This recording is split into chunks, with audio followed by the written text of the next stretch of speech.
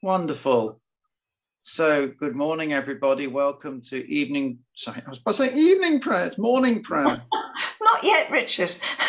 um, welcome to everybody in the Far East. Welcome to evening prayer. Um, I don't know. They, I've, I've recorded a lot of evening prayers. You're probably aware. You get those six days a week at five o'clock in the afternoon. But we are doing a live morning prayer now and remembering St. Alban. Um, the uh, first known martyr of Britain, who died about 250. Um, good morning, Elaine. Anyway, it's great to have you with again this morning. Good morning, Richard. It's lovely to be with you. Do you have any facts about St Alban that you can share with us?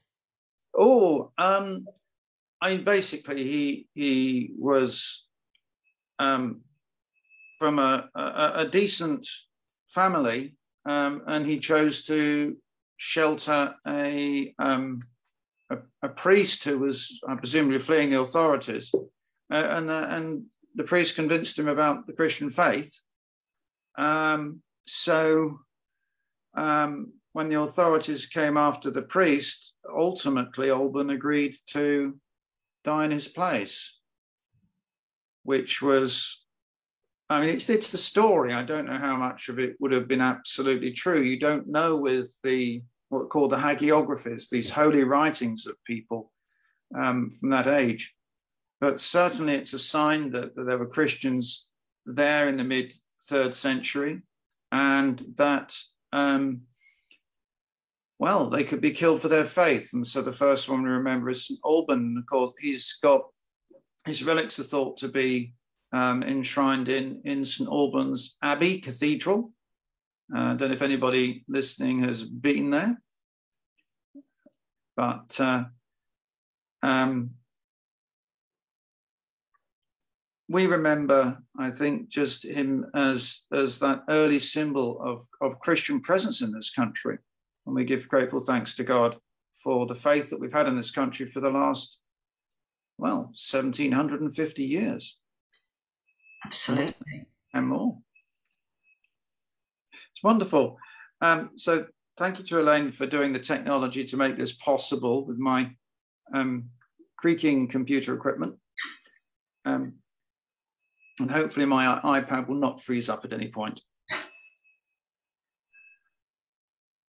So let's go to morning prayer. We've got uh, a very important reading from Romans, uh, and we've also got uh, um, Psalm 73 when we get there. O Lord, open our lips. And our mouth shall proclaim your praise. Bless the Lord, O my soul, and all that is within me, bless his holy name. Bless the Lord, O my soul, and forget not all his benefits. Who forgives all your sins and heals all your infirmities. Who redeems your life from the pit and crowns you with faithful love and compassion. Who satisfies you with good things, so that your youth is renewed like an eagle's. The Lord executes righteousness and judgment for all who are oppressed. He made his ways known to Moses and his works to the children of Israel. The Lord has established his throne in heaven, and his kingdom has dominion over all. Bless the Lord, you angels of his, you mighty ones who do his bidding, and hearken to the voice of his word. Bless the Lord, all you his hosts, you ministers of his who do his will. Bless the Lord, all your works of his, in all places of his dominion. Bless the Lord, O my soul. Glory to the Father, and to the Son, and to the Holy Spirit, as it was in the beginning is now, and shall be forever. Amen. The night has passed and the day lies open before us.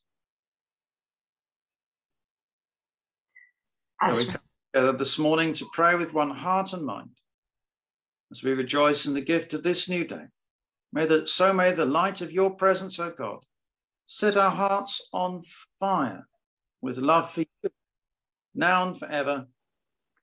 Amen. Psalm 73. Truly, God is loving to Israel, to those who are pure in heart. Nevertheless, my feet were almost gone, my steps had well nigh slipped. For I was envious of the proud. I saw the wicked in such prosperity. For they suffered no pains, and their bodies are sleek and sound. They come to no misfortune like other folk, nor are they plagued as others are. Therefore, pride is their necklace, and violence wraps them like a cloak. Their iniquity comes in, the conceits of their hearts overflow. They scoff and speak only of evil. They talk of oppression from on high. They set their mouth against the heavens, and their tongue ranges round the earth. And so the people turn to them and find in them no fault. They say, Should God know? Is there knowledge in the Most High? Behold, these are the wicked. Ever at ease, they increase their wealth. Is it in vain that I cleansed my heart and washed my hands in innocence? All day long I have been stricken and chastened every morning. If I had said, I will speak as they do, I should have betrayed the generation of your children. Then thought I to understand this, but it was too hard for me. Until I entered the sanctuary of God and understood the end of the wicked. How you set them in slippery places, you cast them down to destruction. How suddenly do they come to destruction, perish, and come to a fearful end. As with a dream when one awakes, so, Lord, when you arise, you will despise their image. When my heart became embittered and I was pierced to the quick, I was but foolish and ignorant. I was like a brute beast in your presence. yet I am always with you. You hold me by my right hand. You will guide me with your counsel, and afterwards receive me with glory. Whom have I in heaven but you? And there is nothing upon earth that I desire in comparison with you. Though my flesh and my heart fail me, God is the strength of my heart and my portion forever. Truly, those who forsake will perish. You will put to silence the faithless who betray you. But it is good for me to draw near to God. In the Lord God have I made my refuge, that I may tell of all your works. Glory to the Father, and to the Son, and to the Holy Spirit, as it was in the beginning, is now, and shall be forever. Amen.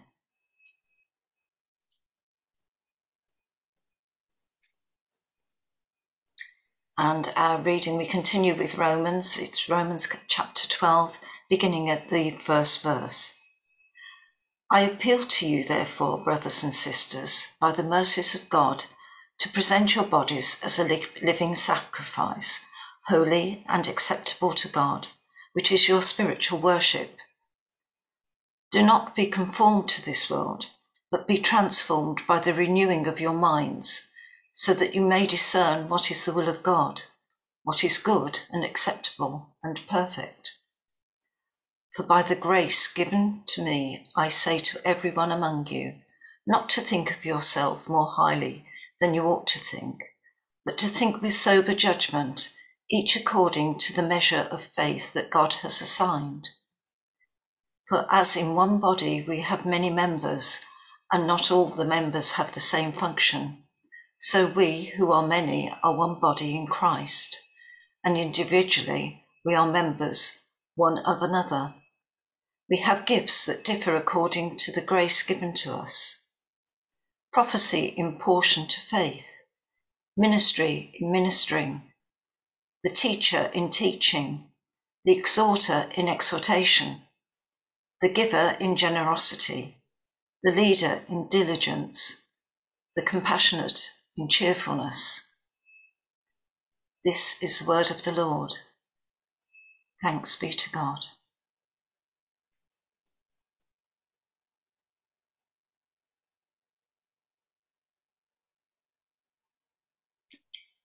Open my eyes so I may see the wonders of your law. Open my eyes, O Lord, that I may see the wonders of your law.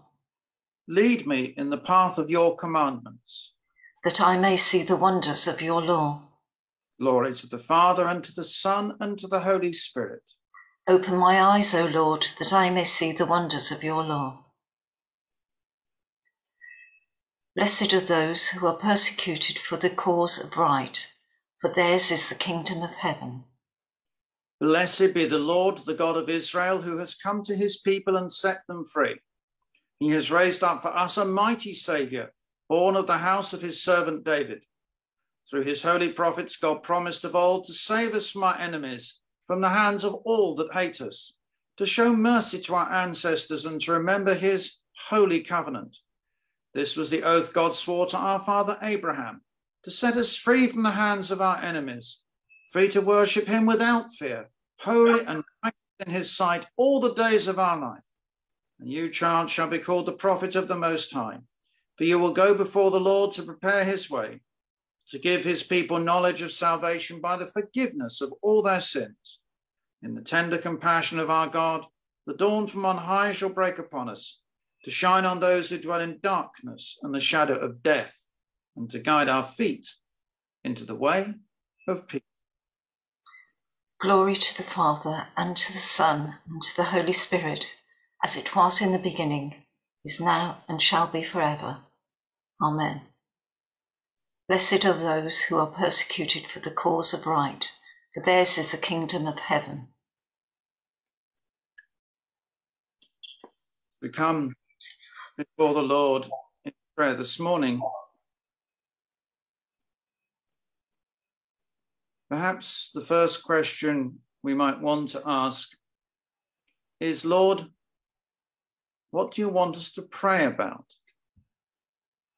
we confess, Lord, it is very easy to think about those things that are at the front of our minds, those concerns that most trouble us as individuals. And we know that you're interested in those and want to hear about them. And we know, Lord, that you call us to pray about others and not just ourselves. But grant us grace to discern the things that you would most like us to be praying about so that your good purposes can be achieved. And Lord Jesus Christ, this morning, we bring before you the great concerns that we have about the way in which There are so many people who have health concerns. We're concerned that they have health concerns. We're concerned that there seem to be so many things that we can do medically these days uh, that it actually creates more demand because there's more that we can do. Uh, we've discovered so many drugs that there's so much more that may, can be administered to people, and it costs so much. The management of the health service and the funding of the health service is a perennial topic for conversation. It's a massive political issue. We employ so many people in the NHS, and yet we feel that more, more could always be done. So, Lord Jesus Christ, we appeal to you to guide our footsteps. We especially bring before you people who are over concerned with their health and use up valuable time that would be best spent with other people. And those who are so inclined to hold themselves back that their health issues will not be properly dealt with because they do not bring them to the attention of the medical services. We lift before the Lord those people who are lonely and isolated and need help to get help. And we pray that assistance will come so that they can be properly looked after. Lord, in your mercy, hear our prayer. We bring before the Lord his concern for those who are suffering as the result of famine or disaster. At the moment, there are special concerns for Yemen and for the Democratic Republic of Congo. And Lord Jesus Christ, we pray that aid will get to, to the places of need and that people of violence will not stand in the way of effective help going to those places that most need it. Lord, in your mercy, hear our prayer. We bring before the Lord those people who today are suffering from discrimination and abuse. And we recognize that while we like to think of ourselves as all accepting and including, that that's not a common human pattern. And we ask you, Lord, to help us to deal with those situations where we are rejected or excluded, and especially those times when it happens because of some way in which we've been classified as a result of our ethnicity, our skin color, our gender, our age, whatever it is. And of course, it could be our faith. Lord Jesus Christ.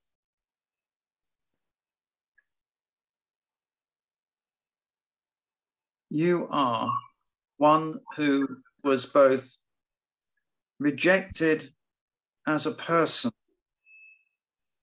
part of a despised group of people, one who was at one time a refugee, one who was condemned essentially for telling the truth. So you know the way people feel. Pray that we can cast our cares on you in the midst of difficulty and discrimination. And know the consolation of your unfailing love, but also your deliverance and an improvement in our situation. Lord, in your mercy, oh, hear our prayer. We bring before the Lord today the ministry at St. Clement and St. David Worcester.